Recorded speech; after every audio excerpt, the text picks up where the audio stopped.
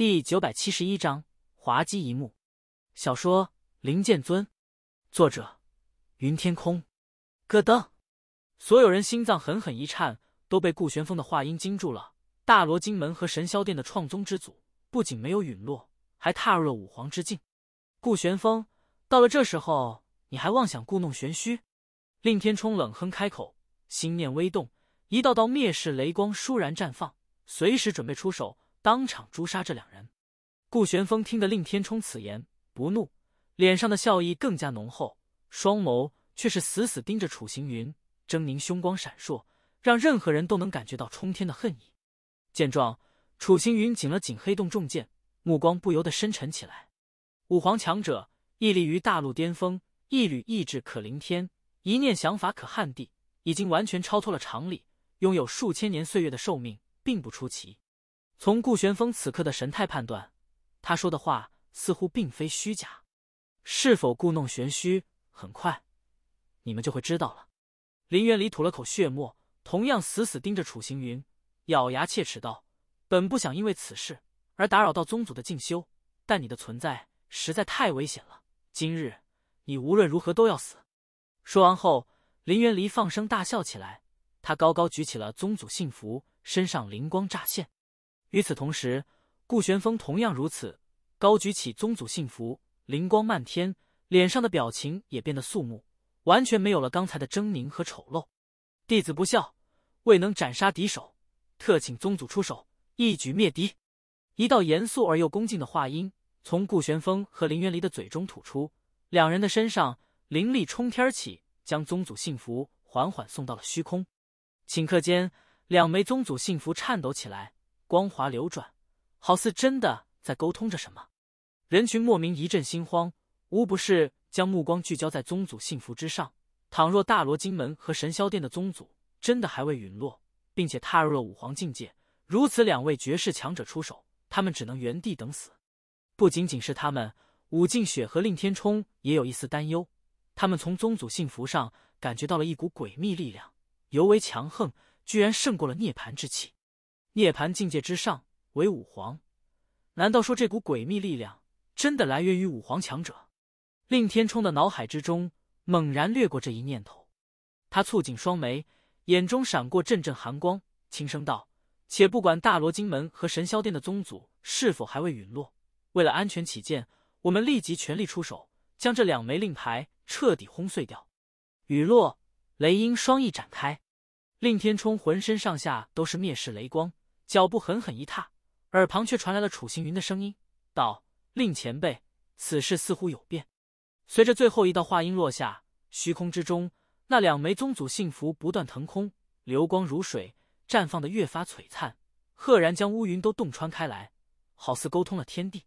顾玄风和林元离高举着双手，面庞上暴涌出虔诚之色，宛若两名最忠诚的信徒在沟通着无上真主的降临，不言一语，神态肃穆。只不过，随着时间一点点流逝，这一片虚空却是毫无动静，没有破空声音传来，也没有绝世强者的身影出现。甚者，那两枚所谓的宗祖信符正以肉眼可见的速度变得暗淡，流转其上的光华也一点点消散掉，消失的无影无踪。当最后一缕光华散去，两枚宗祖信符颤抖了下，旋即，他们从半空中无力坠落下去，落到地面的一瞬间。咔嚓咔嚓两声，碎了。居然间，整片空间一静，就连清风吹拂的声音也荡然无存。所有人全睁大双眼，满是惊愕的看着碎成一地的宗祖信符，随后又移动目光看向了虚空中的林元离和顾玄风。但见这两人依旧站立在原地，依旧高举着手臂，就连脸上的虔诚模样也是纹丝微变。整个画面好像定格在了这里。到处都充斥着滑稽气息，这这是怎么回事？难道说宗祖没有听到我们的呼唤？顾玄风率先回过神来，他慌了，彻底慌了，脸上充满了疑惑和恐惧，六神无主。他如此，林元离更是如此，呆呆望着变成碎片的宗祖信符，双眸一片灰白空洞，连开口说话都变得无比困难。我猜，大罗金门和神霄殿的宗祖。已经听到了你们的呼唤，只可惜他们并不能赶来此地助你们一臂之力。楚行云笑了笑，吐出一道感慨话音。在说话之时，他的双眸浮现出一道道金芒，好像已经彻底明白了整件事的来龙去脉，不再疑惑，唯有洞穿一切的自信。顾玄风的面庞不断颤抖，他看着楚行云，又看了看地面上的幸福碎片，最后又看向了林渊离，整个人的神态尤为滑稽，不禁引人发笑。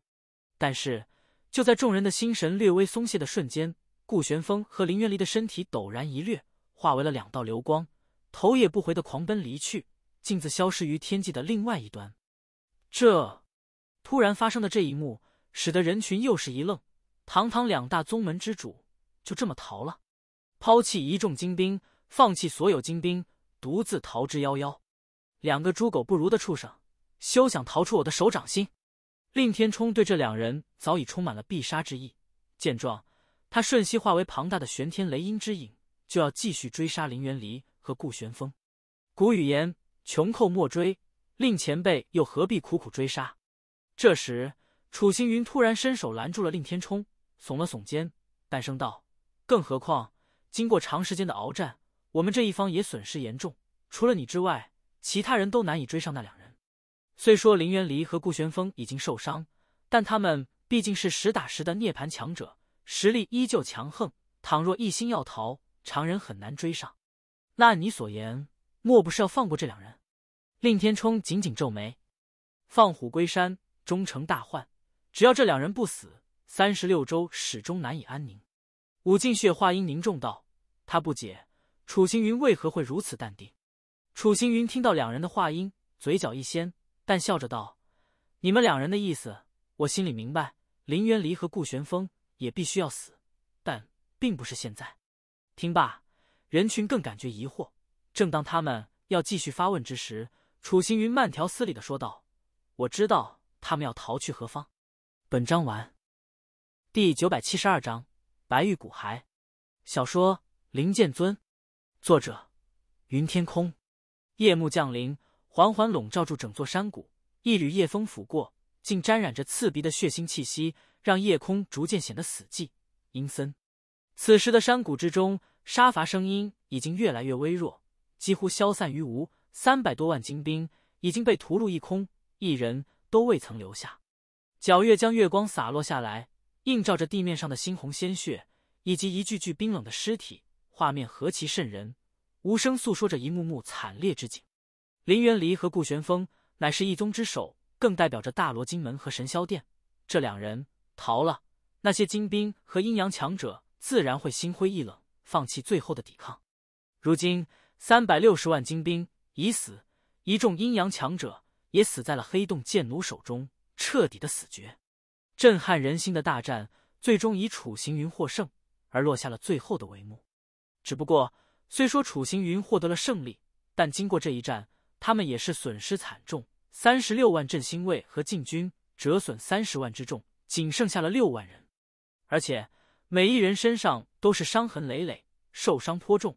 因而，此战结束后，楚行云下令所有人立即进入燕翔关休憩，仅派遣些许人打扫战场。与此同时，关于这一战的最终结果也逐渐传荡了开去。三十六州的百姓子民、大罗金门和神霄殿的百姓子民，尽皆听在了耳中，神态尽皆惊愕。今日前，他们所有人都没料想到如此结局。在大罗金门和神霄殿的子民眼中，林元离和顾玄风亲率三百六十万精兵强攻燕翔关，气势一往无前，强者众多，足以推平一座山脉。此战。他们将必胜无疑，而在三十六州的子民眼中，燕翔关羸弱，仅有三十六万将士驻守，即便收尽天下五经、万千灵脉，也始终不是三百六十万精兵的对手。鉴于这点，他们只希望楚星云能够死守住燕翔关，从而阻拦三百六十万精兵，根本不敢奢求能够战胜对方。但最后的最后，楚星云不仅守住了燕翔关，还取得大胜。如此结果。使得所有人大吃一惊，他们绞尽了脑汁，依旧是难以想象楚星云到底有何神通，有何妙招，居然能够力挽狂澜。一时间，无论是三十六州，亦或是大罗金门和神霄殿，几乎所有人都在谈论此事。楚行云之名深入人心，被所有人深深烙印在内心最深处。金霄山脉，位于大罗金门和神霄殿的交界之处。此山脉横跨千里，山势连绵，俨然将两大宗门连接起来，默默耸立了数千年岁月，风雨不倒。此时夜色正浓，黑暗笼罩着整座金霄山脉，处处都透着静谧气息。咻，咻！便在这时候，两道破空声响起，打破了这一静谧。随即便可以看到两抹身影在夜空中疾掠而过，径自朝着山脉最深处奔去。这两抹身影散发出来的气息极其强横，居然能影响一方天地。但奇怪的是，他们似乎显得很是狼狈，给人一种慌张急促的奇怪感觉。他们赫然正是林元离和顾玄风。自逃离燕翔关后，两人并没有藏匿起来，暗暗恢复伤势，而是一路狂奔，径直来到了这座金霄山脉。哪怕伤势越发严重，气息越发紊乱，也丝毫没有停下。过了一会后，两人来到了金霄山脉最深处。这里居然耸立着一座宫殿，巍峨庞大，气息凛然，宛若是仙人居所。林元离和顾玄风没有犹豫，直接向前跨出步伐，强行进入了宫殿之内。他们的双眸变得通红，仿佛急迫想要找寻到答案。宗祖，弟子有事询问。当来到庭院之时。他们终于放缓了脚步，异口同声的吐出一道话音后，这一座庭院就是两大宗门宗祖的静修之地，任何人都不能入内。话音缓缓落下，然而庭院内依旧安静，没有丝毫声音传出，这让林元离和顾玄风愣了下，相互对视，心中越发感觉到不安。最终，两人一咬牙，踏入了庭院之内。呼一声，就在两人入内的瞬间，一缕微风扫过。卷起了衰败荒芜的气息，吹拂在两人的身上，使得两人身体一颤，瞬间呆立在原地。在他们的视野中，整座庭院空无一人，处处都是衰败之气，仿佛已经许久没有人居住过。而在庭院中央的两处亭台之内，正静静躺着两具骸骨，白玉骸骨。宗宗祖不在，顾玄风的心脏狂跳。就在他说话之时，庭院之内毫无征兆的刮起了阵阵狂风。原本稳固浑厚的空间碎裂掉，出现了一道漆黑深邃的空间通道。在那通道内，太虚是灵蟒的庞大身躯浮现，蛇躯蜿蜒，轻松穿越了空间通道，降临到这片空间中。而在蛇身之上，站立着一行身影，为首之人赫然正是楚行云。他微凝双眸，将林元离和顾玄风的表情收入眼帘，用一种嗤笑话音说道：“你们的宗祖，此刻不就出现在眼前吗？”说着，他伸手指向了地面上的两具白玉骨骸，笑意家带着浓厚讥讽：“小畜生，你给我闭嘴！休得胡言乱语！”顾玄风立即怒斥，他根本不相信这两具白玉骨骸属于大罗金门和神霄殿的宗祖。两位宗祖的实力已达到半步武皇境界，实力无双。一旦相互联手，穷极整一座北荒域，无人能够灭杀。即便是九寒宫公主，同样不行。林元离怒吼出声，他同样觉得楚行云在胡言乱语。在他的看来，这座庭院保存完好，一无打斗痕迹，二无混乱气息，有且仅有两具白玉骨骸，根本说明不了什么。这时，令天冲和武敬雪等人也颇为好奇的看向了楚行云。一路上，楚行云都表现的神秘莫测，他们也想知道这一切到底是怎么回事。只见楚行云又是一笑，缓声说道。你们说的话没错，穷极整一座北荒域，无人能够神不知鬼不觉的杀死两名半步武皇。但楚行云的话音戛然而止，一根手指伸出，指了指天空，话音神秘的说道：“出手灭杀这两人的不是人，而是我们头顶上的这片天。”本章完。第九百七十三章尽在掌控之中。小说《灵剑尊》，作者云天空。林元离和顾玄风顿时错愕，就连令天冲和武敬雪等人也愣住了，下意识以为楚行云是在嘲讽，但楚行云的表情认真，丝毫不见讥笑。楚行云纵身一跃，落到了庭院之中，一边踏步一边出声说道：“天地之间明明存在着气运，气运盛者如有神助，气运衰者百事愈错。而有些大奸大恶之人，他们身上的气运会被天地强行剥夺掉。”最终难逃生死下场，就连高高在上的武皇强者也是如此，绝无逃窜的可能。那按你所说，大罗金门和神霄殿的宗祖就是被天地剥夺了气运，所以才会落得这样的下场。令天冲望向了地面上的白玉骨骸，若有所悟的问道：“楚行云点点头，继续道：大罗金门和神霄殿聚兵三百六十万，是要破开燕翔关，侵袭三十六州。他们的手段狠辣，冷血无情，不惜屠戮十万守城将士和四十余万百姓子民，甚至将三万老弱如妇视为诱饵，想以此破开燕翔关。如此举动，为天地所不容。身为大罗金门和神霄殿的宗祖。”理所当然会被天地抛弃，最终被剥夺掉气运，并降下审判之火，灼烧己身，在无尽痛苦中死去。倘若是寻常人，审判之火刚降临，就会焚烧的灰飞烟灭。但这两人的修为已达半步武皇境界，触摸到了一丝天地真理，骨骸不朽不灭，即便是审判之火也无法焚毁。从这一点也可以判断，这两具白玉骨骸正属于大罗金门和神霄殿的宗祖。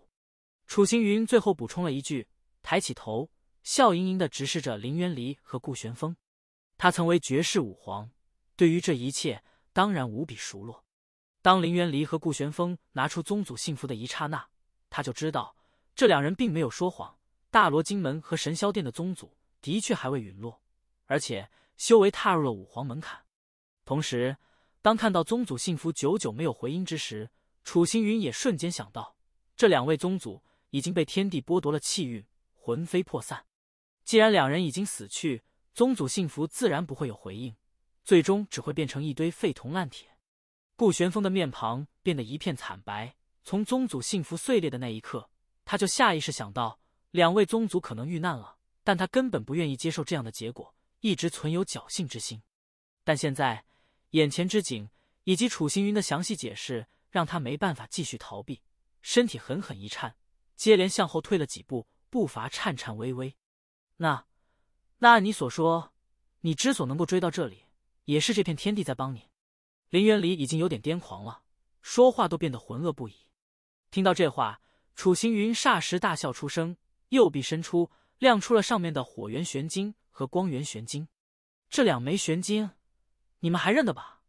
楚行云淡淡一笑，心念微动，两枚本元玄晶绽放出璀璨光芒。雄浑力量弥漫，在接触到林元离和顾玄风的瞬间，让他们手中的罗生古刀和神霄古钟产生了共鸣，同样绽放出光华。七枚本源玄晶本就为一体，相互间隐隐存在着某种共鸣和联系。我拥有光元玄晶和火元玄晶，便能够轻松感应到土元玄晶和金元玄晶的所在位置，找到这两枚本源玄晶，也就能够轻松找到你们。楚行云的表情很是随意，声音微凝道。所以，我并没有急着追杀你们，而是利用这一段时间好好休养一番。等你们一旦停下，这才破空而来。倘若没有你们的带路，我们纵使能够找到这里，也要花费许久的时间。不管怎么说，两名半步武皇强者的骸骨，乃是绝佳的锻造材料，足以锻造出黄气之物。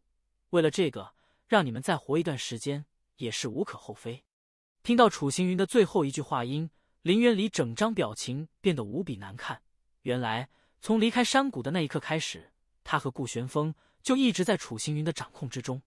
你，你到底是何方神圣？为什么能够知道这些？你到底是何人？顾玄风呼吸变得急促，他看向楚行云，就宛若看向一团漆黑迷雾，越发看不清虚实了。对死人来说，这些问题就算知道了答案，也毫无意义。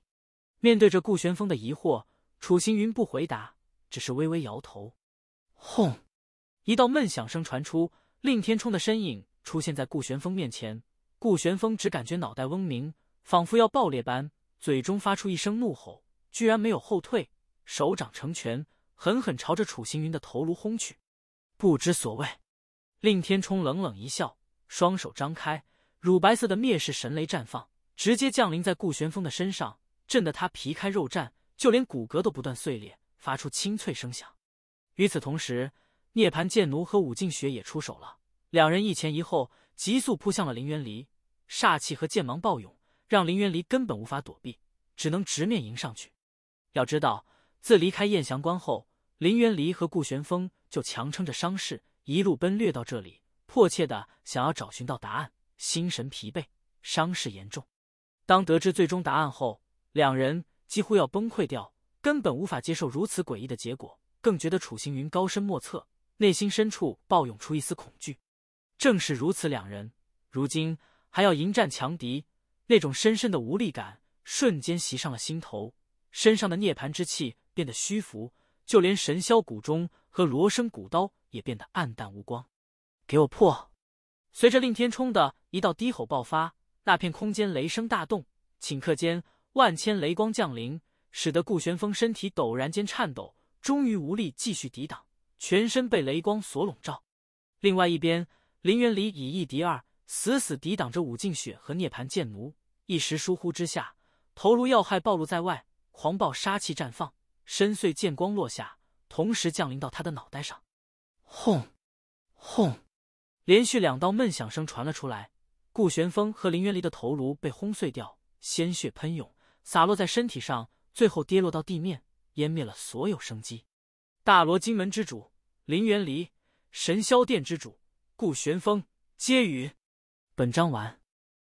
第九百七十四章恐怖资源小说《灵剑尊》，作者云天空。随着两具尸体倒地，这一片空间重新变得死寂。令天冲心念微动，将手掌上的鲜血悉数震散，嘴中微微吐出了一口浊气。他看向武敬邪，发现武敬邪也同样如此，终于放下了心中大石。顾玄风和林元离皆为三阶涅槃强者，实力极其强横，统摄着大罗金门和神霄殿。虽说经过燕翔关一战，大罗金门和神霄殿损失了八成强者，元气大伤，实力将十不存一。但只要这两人还活着，对三十六州来说就是一个巨大的隐患。哪怕这两人无法撼动万剑阁，但如果藏匿在暗处，时而出手暗杀，时而布局扰乱，也是尤为棘手，很难得到根除。如今林元离和顾玄风死去，两位宗祖也已经陨落，大罗金门和神霄殿是真正意义上的衰亡了。从此以后，只会存在于历史长河之中。不过，回想起刚才的一战，武敬血和令天冲都是暗暗庆幸。若不是林元离和顾玄风身心俱疲，并且因为两大宗祖的突然陨落而感到心灰意冷，实力大损，他们也无法如此顺利的诛杀掉，要耗费不少的功夫。一想到这里，武敬雪和令天冲就回过身，朝着楚行云望了过去，眼中闪烁着感慨之色。楚行云的谋划和运筹太可怕，仅仅凭借一些微不起眼的细节，就能知晓如此多的心秘，并且利用言语逐渐击碎两名涅槃强者的心理防线。倘若在数年前，林元离和顾玄风凭借着三百六十万精兵，或许能够一举将万剑阁和星辰古宗击溃，奈何此时此刻统摄十八皇朝。和十八古城之人乃是楚行云，这也许是林元离和顾玄风最大的悲哀吧。武静雪和令天冲在心中感叹，他们进阶凝视着楚行云，却见楚行云踏出了脚步，径自来到林元离和顾玄风的尸体面前。嗡，他手掌一挥，将两具冰冷尸体收入了轮回石当中。这两人生前都是涅槃强者，灵魂还未完全散去，足够凝练出两具涅槃剑奴。在同时，楚行云的掌心中还多了两枚闪烁着璀璨光华的晶石，一者浑厚土黄，闪烁之间嗡鸣震荡，似能引来大地共鸣；另一者灵力锋锐，每一缕光华都能撕裂长空，让空间发出破空之音。这两物自然正是土元玄晶和金元玄晶。林元离和顾玄风已死，神霄古钟和罗生古刀也就成了无主之物。上面的本源玄晶脱落下来，静静躺在楚行云的手中，隐约引来火元玄晶和光元玄晶的微弱共鸣。见状，楚行云淡笑一声，倒也没有继续研究，而是将两枚本源玄晶收入了储物界。人杀了，东西也搜刮了，我们就此离开这里吧。武敬雪扫视周围一圈，最后落到了太虚氏灵蟒的身上，眼中闪烁着金芒。显然，他也诧异于。太虚是灵蟒穿梭虚空的奇异能力，一闪之间直接降临到金霄山脉深处。倘若不是亲身体验，简直无法相信这个世间上竟有如此玄妙的异兽。真正的好东西还未拿走，倒不急着离开。楚行云淡笑了一声，所说言语让武敬雪和令天冲愣了下。真正的好东西，楚行云又是一笑，他双手包裹着灵力，轻缓向前方一伸。将那两具白玉骸骨拾了起来，并且小心翼翼的悬浮在面前。这两人虽未真正踏入五皇境界，但半步五皇之境已能凝聚腐骨，不朽不灭。经过审判之火的煅烧，两具骸骨已经摒弃了所有杂质，蕴含一丝天地真理，颇为难得。只要将这两物经过凝练，就能够锻造出黄气，而且还能散发天地真理，让涅槃之人提升修炼速度，甚至叩响五皇境界的大门。楚行云说话间，眼眸朝令天冲和武敬血望去，但见两人都是目若流火，充斥着火热之色。这两具白玉骸骨的价值好生惊人，居然有机会锻造出黄气。除此之外，还能助人突破修为桎梏，直指五皇境界。从某种程度上说，这两物的价值的确不在两名涅槃剑奴之下。看到两人的表情微变，楚行云心中暗笑，他清了清嗓子。让两人从失神状态中醒来，旋即他继续跨步走到了庭院中央。不仅是两具白玉骸骨，这座金霄山脉也不容小觑。楚行云吐出一道话音，他的身体腾空，一股浩瀚灵力爆发出来，化为漩涡，疯狂朝着四面八方漫去。轰隆隆的碎裂声响起，在这股灵力漩涡的面前，金质亭台开始颤抖，庭院逐渐皲裂，乃至整一座金霄山脉都在摇晃，各处各地。碎裂声不断，但也绽放出一抹抹刺目奇光。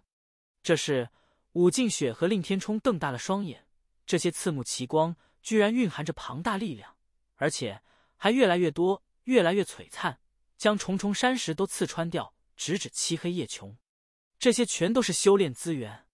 楚行云补充了一声，双眸同样闪烁着金芒，解释道：“严格来说，这些修炼资源属于大罗金门和神霄殿的宗祖。”以便他们能够踏出最为关键的一步，成为真正的武皇强者。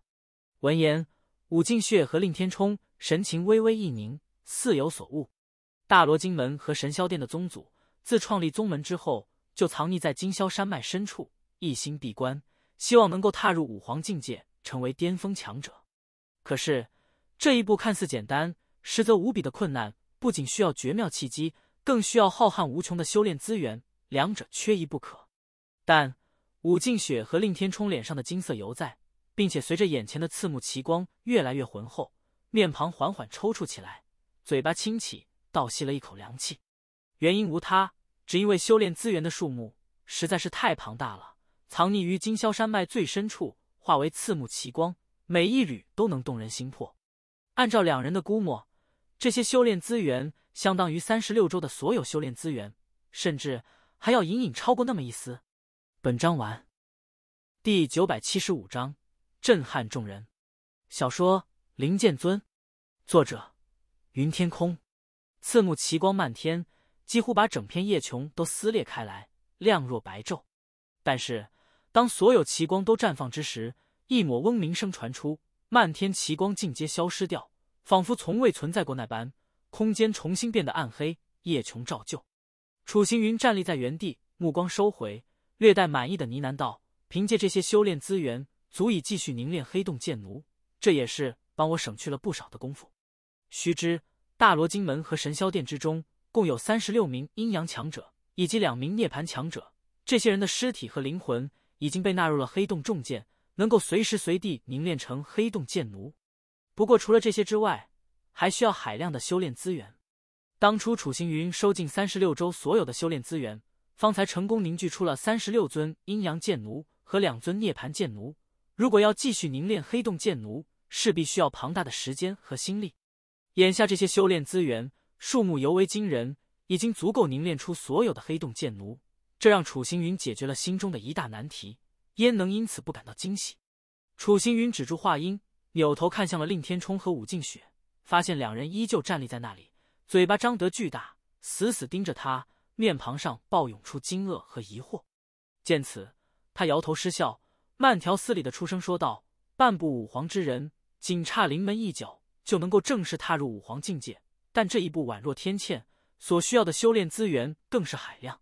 大罗金门和神霄殿的宗祖一边感悟天地真理，一边抽取两大宗门的修炼资源，也是理所当然之事。数千年岁月，拥有如此累积，只能说是中规中矩吧。”感觉到楚行云语气中的淡然不屑，武敬雪和令天冲的心神颤抖了下，不禁对着楚行云翻了翻白眼，但两人也是顿时明悟：大罗金门和神霄殿的实力要胜过万剑阁和星辰古宗，野心勃勃，时常还出手谋取，拥有着惊人的修炼资源。但即便如此，大罗金门和神霄殿所拥有的顶尖武者并不算多，三十六名阴阳强者，两名涅槃强者。这里必定是两名宗祖暗中抽去了修炼资源。他们之所以这样做，其一是为了提前做好准备，能够一举突破至五皇境界；其二也是为了麻痹九寒宫，维持着北荒域的平衡格局。一旦他们踏入了五皇境界，就会强势出手，覆灭掉万剑阁和星辰古宗。利用五皇威势以及四大宗域的力量，强势宣战九寒宫，一举夺得北荒域的掌控权。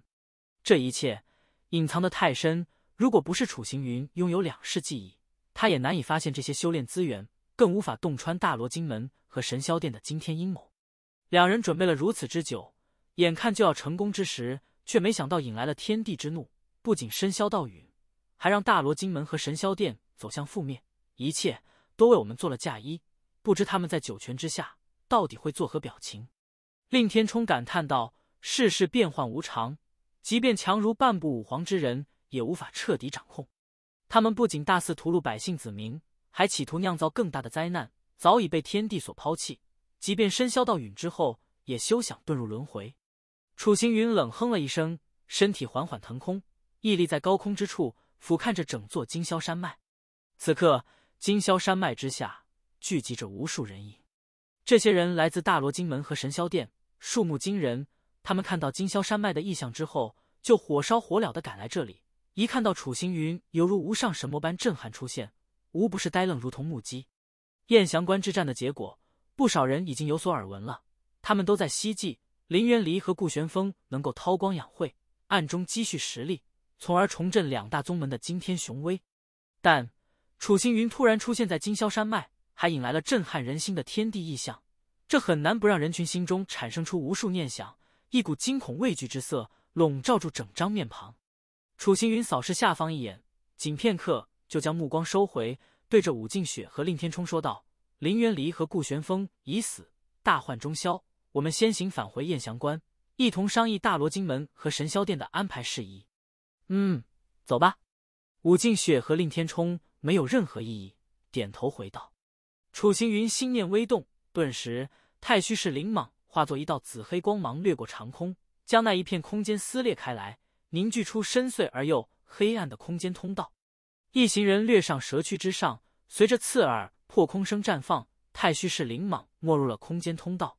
那片虚空狠狠颤抖起来，过了好些片刻，方才回归于平静，融入到夜色之中。走了，下方的人群还在抬头望向叶琼。楚行云一行人已经离去，然而却留下了震撼话音：林渊离和顾玄风已死，大罗金门和神霄殿两大宗门之主，强横无匹的涅槃强者，皆陨死在了楚行云手中。换言之，这两片浩瀚宗域将归属于楚行云，成为万剑阁的一部分。这短短一句言语，包含着无穷信息，让人群难以忘记，议论纷纷，内心更是骚动不已。燕翔关议事大厅，楚行云一行人归来。议事大厅的主位，楚行云赫然端坐在那里，在周围之处，则是莫望公和楚虎等人，他们都没有离开燕翔关，仍在处理着边境事宜。林元离和顾玄风已死的消息，很快就会传遍大罗金门和神霄殿。如此局势之下，那些心存侥幸之人必将彻底绝望，我们便能顺势吞并这两大宗域。楚行云站起身来，把众人收入眼帘。话音不急不缓，从容有度。闻言，人群的双眸闪烁金芒，一副跃跃欲试的模样。他们已被大罗金门和神霄殿压制了许久，如今林渊离和顾玄风终于死去，所有的阴阳强者悉数陨落，确实是出手反攻的最佳时机。但即便如此，我们却不能就此马虎。楚行云再度出言，让人群的目光微微一凝，扭头望过去，便发现楚行云的眼眸深邃。表情无比认真。本章完。第九百七十六章周密安排。小说《灵剑尊》，作者云天空。大厅气氛变得严肃起来，人群收回了目光，正襟危坐，仔细朝楚行云听闻过去。楚行云顿了顿，这才开始说道：“大罗金门和神霄殿存在了数千年，宗域广阔，局势复杂。随着林元离和顾玄风的死去，各地必定会掀起一阵阵风暴。倘若有所疏忽，只会让局势变得更加复杂，难以妥善处理。闻言，众人暗暗点头，心里都明白楚行云的言语之意。大罗金门和神霄殿坐拥数十亿百姓子民，如今这两大宗门逐渐走向衰落，各城各地的好事之人必定会有所野心。对万剑阁来说，这些人构不成威胁，但他们的所言所举却会影响各城各地的安宁。甚至会影响百姓子民的言论和思绪，一旦因此引发暴动，局势便无法尽快掌控住，甚至还会越演越烈。显然，这样的局面任何人都不想看到，将尤为棘手。明日，我们将正式接管大罗金门和神霄殿的广阔宗域，必须有所安排和举措，以便能镇压动乱，避免不必要的纷争。楚行云眼中闪过一道锋锐金芒，双目如炬，似能洞穿这茫茫夜穹。凝声说道：“第一，大罗金门和神霄殿的高手已经悉数陨落，但这两大宗门的弟子数目惊人，并且都是凶狠狡诈之辈。倘若他们怀有复仇念头，势必会暗中针对万剑阁。因此，从明日开始，万剑阁必须出手追杀这些残余孽党，一人都不能留下。师尊此言极是，残余孽党不除，只会处处影响到百姓子民的安全。不如此次追杀之举。”就交由我们传功一脉吧。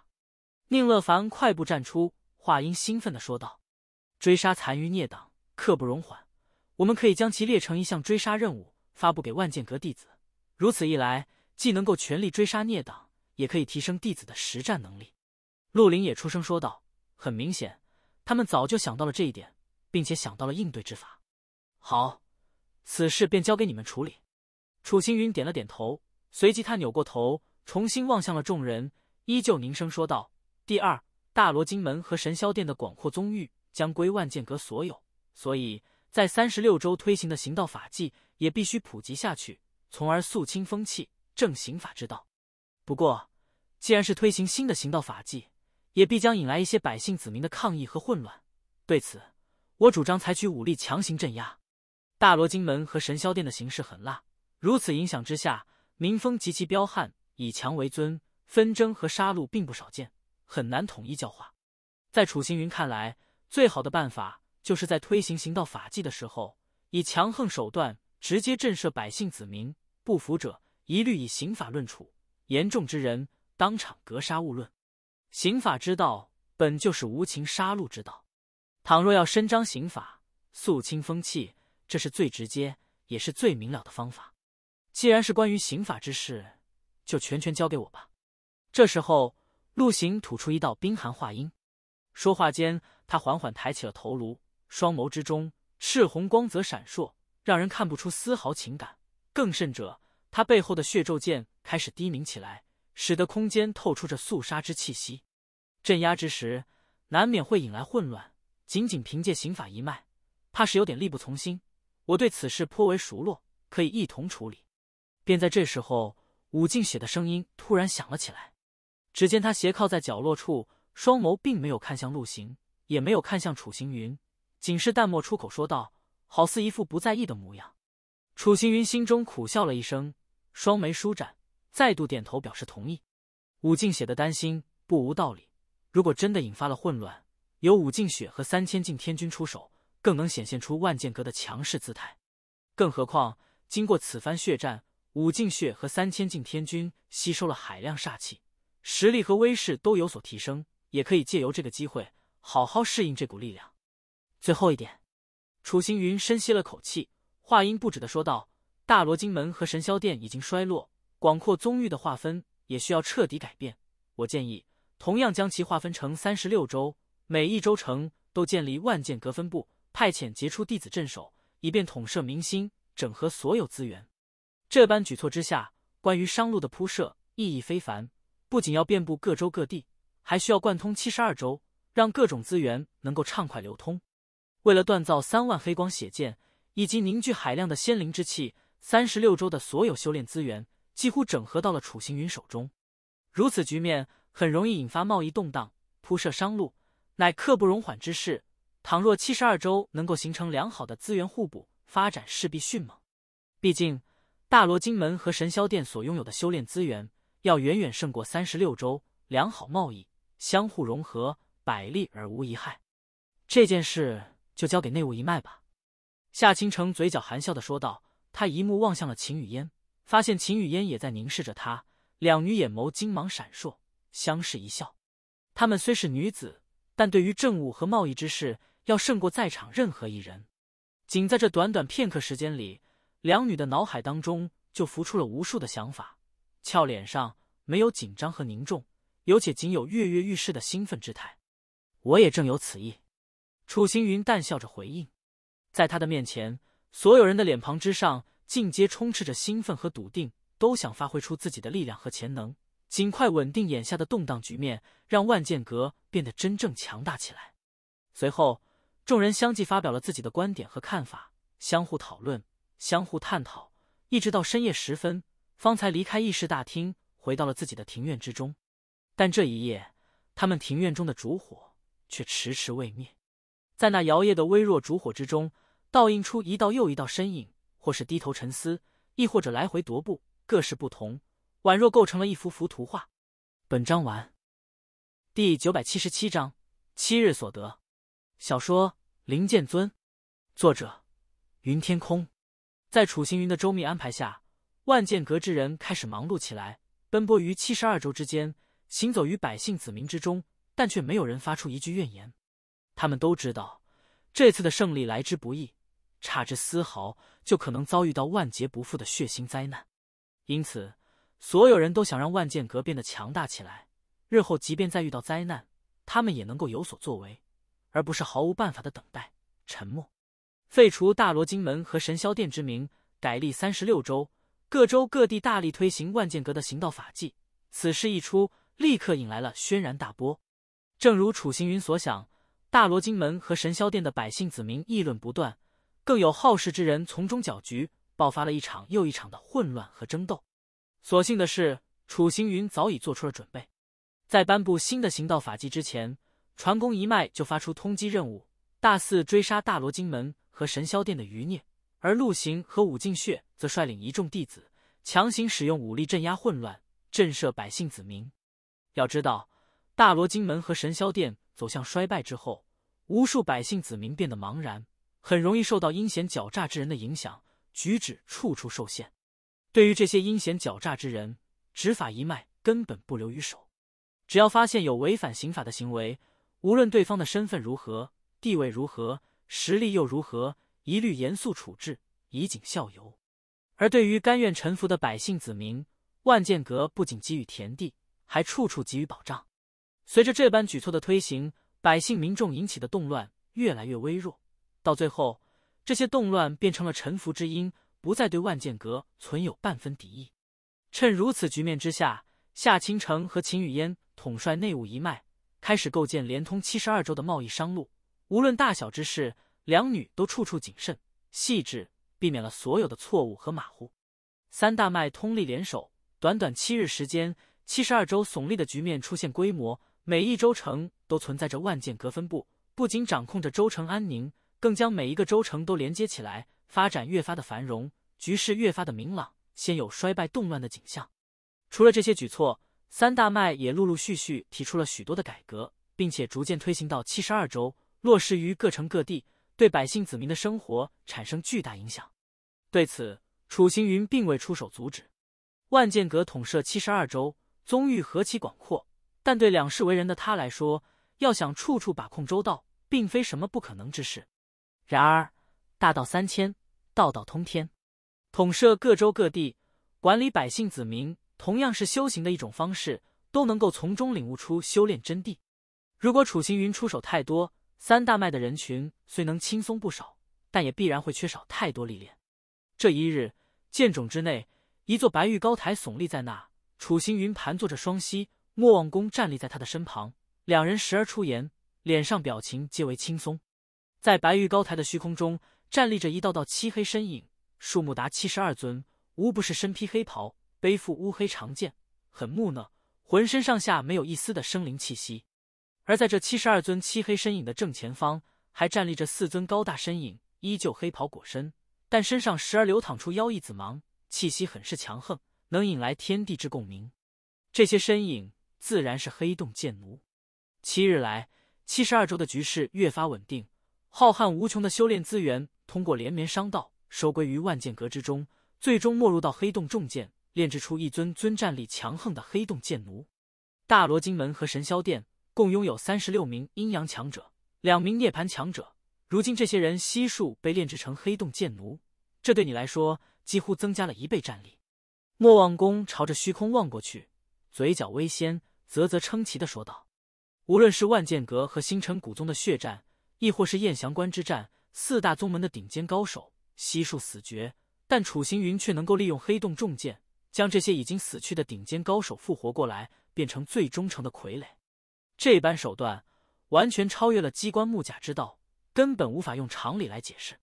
此时此刻的楚行云，坐拥七十二尊阴阳剑奴、四尊涅槃剑奴，还有蒸蒸日上的万剑阁，势力之恐怖，几乎每时每刻都在变强。炼制黑洞剑奴，不仅需要强者残魂，还需要海量的修炼资源。也幸好大罗金门和神霄殿所藏丰富，否则的话，根本不可能如此顺利。楚行云也望向了虚空中的黑洞剑奴，语气略带着庆幸说道。本来大罗金门和神霄殿的宗祖筹备了数千年岁月，不断积累修炼资源，领悟五皇之道，眼看就要成功之时，被天地剥夺周身气运，当场身消道陨。而这些修炼资源自然被楚行云用来凝练黑洞剑奴。短短七日，三十六尊阴阳剑奴，两尊涅槃剑奴成功炼制而出，没有遇到任何困难。在炼制黑洞剑奴之时，楚行云还分出了一部分心神。将精力聚焦在土元玄金和金元玄金之上，将两者成功镶嵌入万象碧铠。换言之，现在的万象碧铠共拥有四枚本源玄金，楚行云所能掌控的力量也变得异常的强横，几乎可以说是源源不绝。昔日数以万计的精兵逼近燕翔关的关门，局势危在旦夕。洛兰还因此奉献出自己的生命。楚行云一怒之下，全力催动火元玄经和光元玄经。强行施展出翻天式和三大神通，那一剑落下，直接无视了盾墙，更无视了灵力刀芒，让万数精兵身死于当场，连尸骨都化为齑粉，消失的无影无踪。此举震撼了所有人，就连涅槃强者也是不例外。但作为代价，楚行云全身灵力匮乏，灵海几近干枯。莫说是再出一剑，哪怕是正常的出剑挥剑，都变得无比艰难，堪称至强一剑。四枚本源玄晶相互共鸣，本源之力相互融合，所蕴含的力量当然是数倍提升。一举一动间都能够溢散出精纯力量，无穷无尽。也正因为这一点，万象碧铠的品阶再度跃升，达到了中品黄气之列。两缕金黄色的黄气上下升腾，倒也是颇具几分玄妙之气息。莫望公瞥了眼万象碧铠，脸上的笑意不禁更浓了。便在这时，他好似突然回想起了什么。面庞微微一过，对着楚行云问道：“话说回来，你从金霄山脉带回来的两具白玉骸骨，此刻处理的如何？”本章完。第九百七十八章困扰。小说《灵剑尊》，作者云天空。听到莫望公的询问，楚行云眉头微微皱紧，若有若无的叹了口气。啪嗒！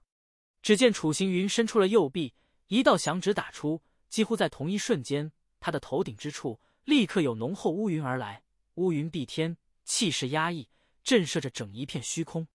细细凝望过去，滚滚乌云的四周竟充斥着微弱阵纹，而在中央位置，两具通体晶莹剔透的白玉骨骸悬浮在那，黑光上下缭绕如妖，看上去颇为的玄异。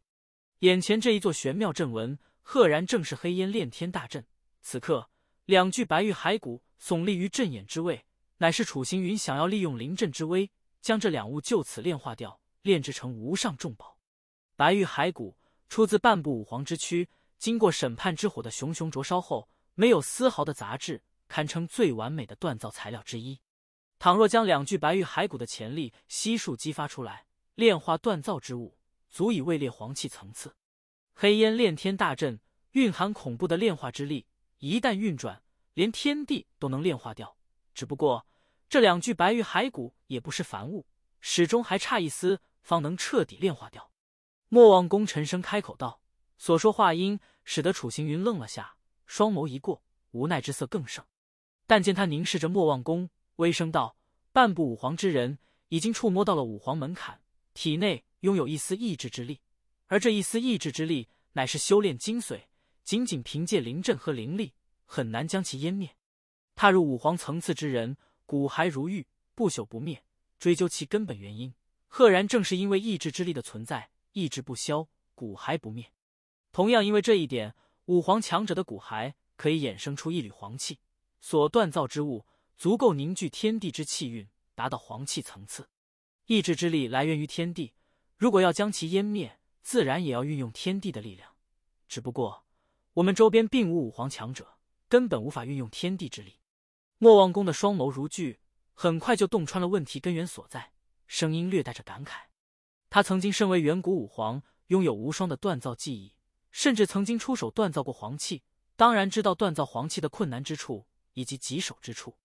黑烟炼天大阵乃是无上奇阵，但凭借着区区一座灵阵，就想炼化两具半部武皇的骸骨，并且顺势锻造成黄气，无异于痴人说梦。不过，我倒是有些好奇，你为何突然出手锻造黄器，而且还要一举锻造出两件？莫望公沉吟了片响后，转移话题道。待成功锻造出两件黄器后，莫前辈自会知晓。楚星云并没有直接回答，而是对莫王公卖了个关子，双眸凝神，深深注视着两具白玉骸骨，好似也因此感觉到了困扰。漆黑瞳孔之中，时而闪过几道思索的神光。看到这一幕，莫望公不禁哑然失笑，连连摇了摇头。正当他要追问之时，毫无征兆的，整座剑冢开始摇晃起来。就连这片空间也颤抖不已，一股若隐若现的锋锐气息爆发，使得空气都充斥着厉啸声音。楚行云和莫望公凝目，同时抬起头，朝着虚空处望去。他们两人的眼眸金芒万千，宛若能够洞穿重重山岳，悬浮于万剑山的高空之中。两人视野中，浩瀚广阔的万剑山上，一道道凌厉剑芒冲天起，破开了长空，撕裂了天地，正释放出璀璨光华和无上剑意。这些灵力剑芒，光华各异，气息各异，但每一者的存在却存在着某种联系，相辅相成，羁绊共生，使得气息强横了数倍不止。四象三才，七星凝形，这群小家伙越发刻苦了。假以时日，他们的成就无法估量，甚至有机会踏入武皇层次。莫望公满意一笑，显然他对于眼前这一幕并不是第一次看到。楚行云同样笑了笑，只不过。当他看到虚空中的那一道蔚蓝连绵的剑芒之时，好似察觉到了什么，眼眸狠狠颤抖了下，心中不禁发出一道轻疑声音。但很快，楚星云收回这一丝诧异，若有所思的对着莫望公说道：“莫前辈，我们出去吧。”好。莫王公没有察觉到楚星云的异样，点头应允。两人离开剑冢，顺着七道冲天剑芒来到了万剑山之巅，在那里正聚集着不少的万剑阁弟子。进阶抬头凝视着剑芒，双眸金芒闪烁，从中感悟剑道的精髓所在。至于剑芒的源头，正是宁乐凡和陆清玄七人。他们站立在高空之上，一人一剑，一掠长空。庞大巍峨的四象虚影，虚无缥缈的光暗大地，同时出现在众人的视野中。七者所站立的方位无比玄妙，既独立又统一，直指苍穹，有种说不清道不明的震撼。收。这时候，一道低喝声传了出来，语出，剑芒颤抖，那七尊庞大虚影逐渐变得虚浮起来。待消散的一刹，整片天地重新恢复了平静，唯有残存在虚空中的可怕剑意，默默诉说着刚才的惊骇之景。今日讲课就到此结束了，倘若有所疑惑，你们可先行互相讨论。如若迟迟不解，下次讲课之时一并提出来，我们会另作解答。说话之人乃是陆清玄。只见他们七人从高台跃下，缓缓落到了人群之中。每一人身上都散发出威严气质，举手投足间都能震慑住一众万剑阁弟子。虽说七人的年岁尚小，但经历了这么多的生死血战，心性早已蜕变。不仅身负威严气概，更得到了万剑阁弟子的认可。见过师尊，七人落下后，自然看到了楚星云的身影，纷纷躬身行礼道。楚行云随意摆了摆手，出声道：“你们刚讲完课，应该有些疲倦了，就此散去吧，好好休息一番，莫要过于的劳累。”听得此言，七人再度躬身，也不过于拘谨，四散离开了这里。千月，你暂且留下。水千月转过身，连步刚挪出半步，脑海中突然传来了楚行云的声音。他扭过头望去，发现楚行云唯独换他一人留下。本章完。第九百七十九章神秘男子。小说《灵剑尊》，作者云天空。随着人群的散去，万剑山之巅仅剩下了楚行云和水千月。水千月的双眸微凝。直视着眼前的黑衣青年，内心深处不禁泛起了一抹涟漪。但很快的，他心中暗暗叹了口气，将这一杂念抛到九霄云外，开口说道：“不知师尊有何事？”对于水千月的神态变化，楚星云自然看在眼里。不过他的表情没有任何变化，开门见山的问道：“你已经完全融合了九尾仙狐武灵？”“没错。”水千月点头回答，没有丝毫的隐瞒。随即，他心念微动，一股虚无缥缈的玄妙气息从体内弥漫出来，宛若拥有着力量，在他周身跳跃闪烁，最终凝聚成一尊全身皮毛银白的九尾仙狐虚影。这尊九尾仙狐虚影气息诡秘，既不是灵力，也并非生命之力，而是一种难以用言语来形容的玄妙存在，仿佛来自于传说中的仙境，神圣而不可侵犯。楚行云凝视着眼前一幕，不语，内心最深处。却是掀起了滔天巨浪。九尾仙狐武灵传承于水落秋之手，位列九品层次。在仙主行宫之时，楚行云亲眼见识过九尾仙狐武灵的实力所在，很强，拥有无数常人难以理解的手段。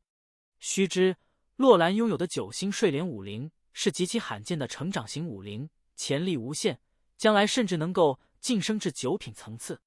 也正因为这点，洛兰才能够施展出鬼神莫测的神通。为楚行云重塑灵海，庇护三万老弱妇孺，以及化魂为莲子，封存最后一丝生机。刚才楚行云从水千月的剑意之中，清楚感觉到了一丝九尾仙狐武灵的气息，这才留下水千月一问究竟。我曾经告知于你，九尾仙狐武灵来源于高高在上的地境强者，那地境强者乃是水家先祖，为了传承后代，这才给予九尾仙狐武灵。楚行云脑海中。回忆着水落秋的一言一语，缓声说道：“九尾仙狐武林之中拥有无数的传承武学，这些武学的存在足以让无数强者为之癫狂。一旦习练圆满，便能够屹立于武道巅峰，傲视天下群雄。只不过这些武学虽强横，但此时此刻的你剑意未凝，底蕴尚浅，还未能接触这些传承武学。倘若强行修炼，只会反噬己身，让灵海处于崩溃的边缘。”咯噔，说到最后，楚行云的话语突然变得凌厉起来，让水千月的心脏狠颤了下。他惊讶的睁大双眸，脸上浮起一丝难以置信的神态。在燕翔关之时，我注意到你的实力提升了许多，能逐渐掌控九尾仙狐武灵。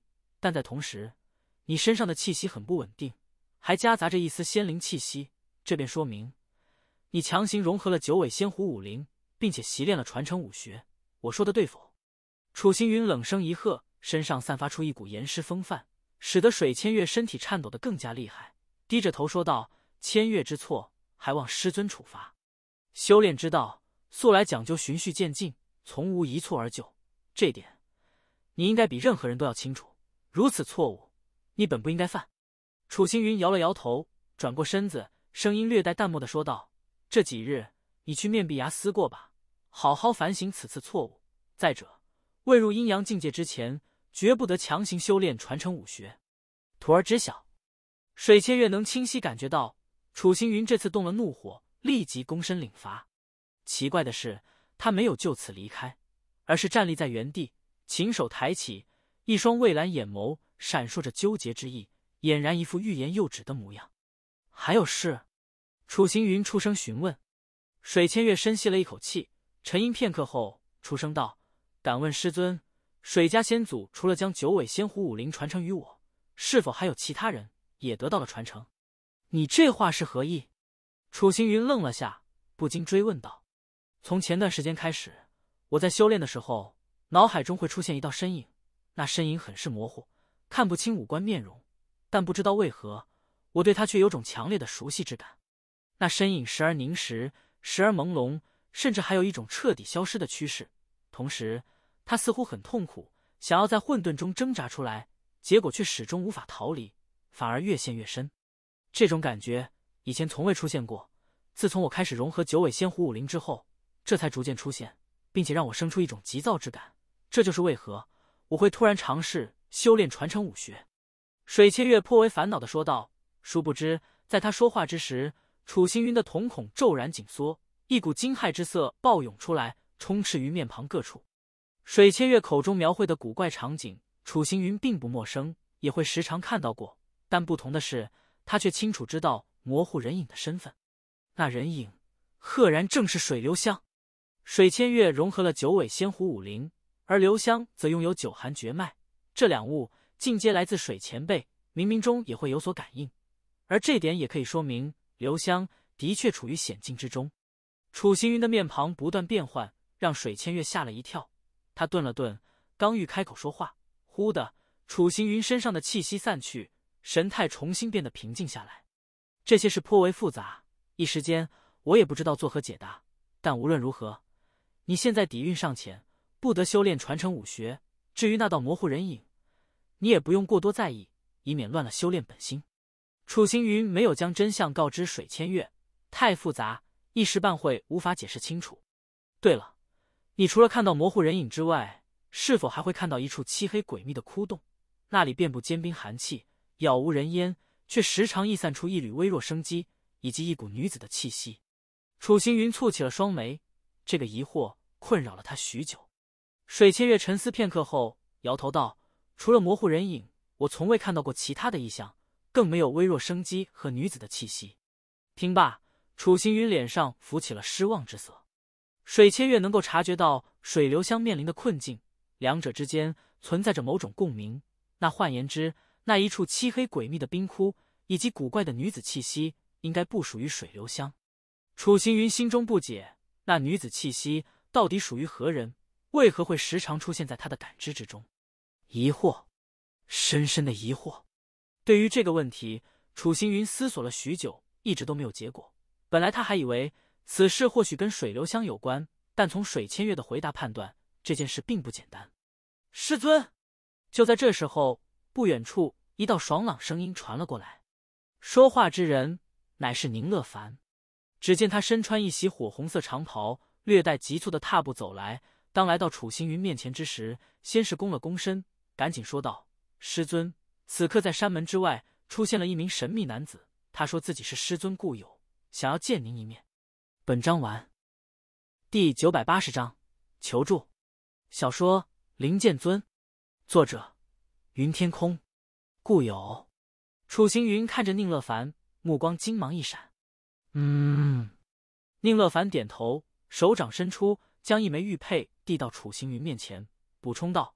那名男子还说：“只要师尊看到此物，自然就会明白。”那枚玉佩仅有拇指大小，呈碧绿颜色，通体毫无纹络，看上去并没有值得称道之处，很普通，会被人一眼忽视掉。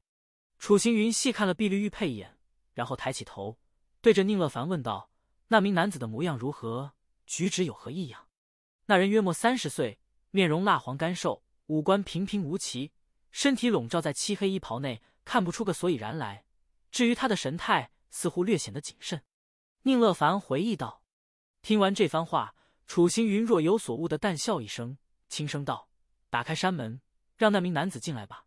还有，将他直接带到万剑殿内，任何人都不得入内。’好。”宁乐凡躬身，快步离开了这里。水千月见状，也没有多说什么，行礼后缓步朝着面壁崖走去，而楚行云依旧站立在原地。眼神饱含思索，片刻后，这才朝着万剑殿走去。当楚星云来到万剑殿大厅内，正端坐着一名削瘦男子。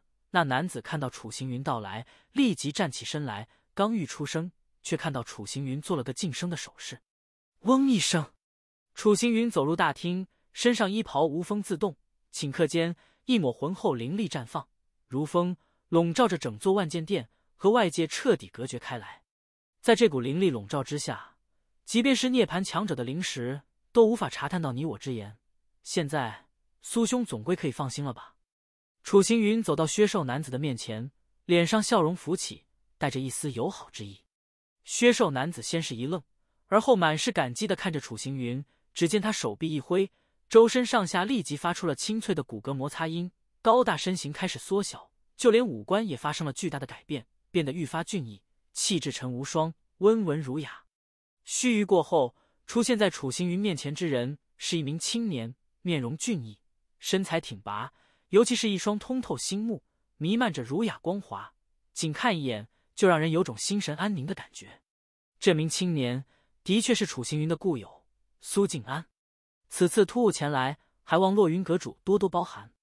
苏静安的脸色略微难看，他称呼楚行云为阁主，而非剑主，这赫然说明最近所发生的事宜。他都已经知晓了。北荒域六大势力进阶传承了千年，相互牵制，相互扶持。万剑阁和星辰古宗的血战刚结束没多久，而后大罗金门和神霄殿又走向了衰落，杀伐无数，局势动荡，这些自然会受到无数人的关注。你我既是好友，又何必拘束？楚行云又是一笑，示意苏静安入座，手一挥，将碧绿玉佩递还给过去。同时凝声道：“苏兄这次前来，不知有何要事，但说无妨。这一枚碧绿玉佩来源于古星秘境。六宗大比之时，楚行云和苏静安相遇，两人一同深入宫殿，收获颇丰。而眼前这枚碧绿玉佩正是收获之一，上面还残存着一丝古星秘境的古老气息。因而，当楚行云看到玉佩之时，他就猜测到，到来之人乃是苏静安。”随后，他从宁乐凡口中得知，苏静安此次到来，不仅改容易貌，还改变了身形、神态，举止谨慎。这便代表后者显然身处困境，不愿意暴露出身份。这就是为何楚行云刚踏入万剑殿，就封锁了整一片空间，不让任何人入内。洛云阁主果然快人快语，那么我也不再拐弯抹角。苏静安脸上浮起一抹苦笑，他站起身，走到楚行云的面前，低头道。洛云阁主，我义父遭遇重疾，身体每况愈下。纵使我寻遍了各种办法，仍是毫无成效。还望洛云阁主能随我去一趟七星谷，看能否驱除重疾。这话刚说完，苏静安突然跪下了单膝，并将头颅深深埋下。苏静安的举动使得楚行云愣住了，他伸手将其扶起，不禁说道：“苏兄，你莫要着急，先把具体情况阐述清楚。只要是力所能及之事。”我定会相助。听到楚行云的这句话，苏静安脸上闪过一抹感动之色，他重重点了点头，开始道：“数日前，我义父突然身患重疾，终日卧床不说，就连灵海也有衰竭的趋势，灵力不断散去，血肉逐渐乏力，整个人的生机也微弱许多。刚开始，义父以灵力流转全身，能遏制住病痛，但随着时间的推移，灵力变得毫无作用，即便是涅槃之气。”也丝毫不见成效，反而越是催动，病情就扩散的越是厉害。无奈之下，我只得离开七星谷，前来向洛云阁主求助，望你能治愈义父的重疾。说话间，苏静安的脸上透出百般无奈之色，一双明亮眼眸也变得暗淡无光。显然，他实在是毫无办法了，否则也不会千里迢迢的来到万剑阁恳求楚行云的帮助。当初在古星秘境。苏静安亲眼见识了楚行云的莫测手段，唯有将最后的希望全都寄托在楚行云身上。踏入涅槃境界之人，每突破一层修为壁障，都能产生天地共鸣，从而引动神雷，以此淬炼灵海和周身血肉，让体魄达到完美层次。苏兄的义父乃是七星谷之主，修为高深，已达到三劫涅槃之境，所以他经历过三次神雷淬体，体魄强横无匹，不在王气之下。根本不可能身患重疾，更不可能因此散去涅槃之气。这里面是否有什么误会？楚行云皱紧着眉头，隐隐感觉到有些许古怪。他顿了顿，随后继续说道：“再者，既然是寻求帮助，为何苏兄还要刻意隐藏自己的身份？即便来到了万剑阁的山门之前，也不愿意展露。”接连两个问题出口，楚行云脸上的疑惑之色更深了，一双锐利眼眸凝视着苏静安。却见这时的剑苏静安目光微有些变化，嘴巴张开，发出一道更为无奈的叹息之音。